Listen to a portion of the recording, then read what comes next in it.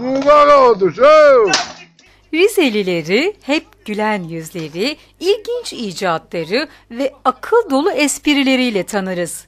Son zamanlarda internet fenomenleri arasına giren bu Rizeli ise fena kızdırmışlar. Böyle motor, sahte motor almayın.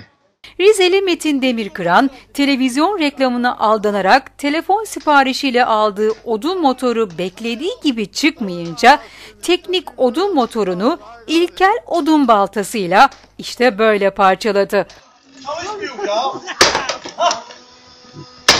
Çalışmıyor ya. Mu yok orada motoru döne kaldı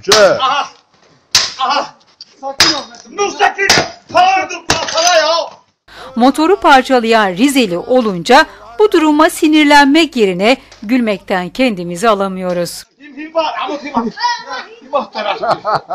Tamam mı? Hizmet vermeyen motoru imha etti. Tamam, Gözlere imha bak ettim adamın gözlerine Bir daha bak. Bir daha böyle motor, sahte motor almayın.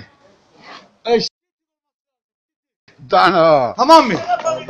Mübarek oldu şu.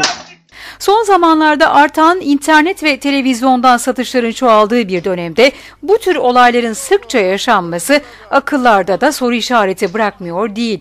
Bu yüzden güvenliğinden emin olmadığınız hiçbir ürünü almayın. Anasını kimse de tutma o. Ay kadın.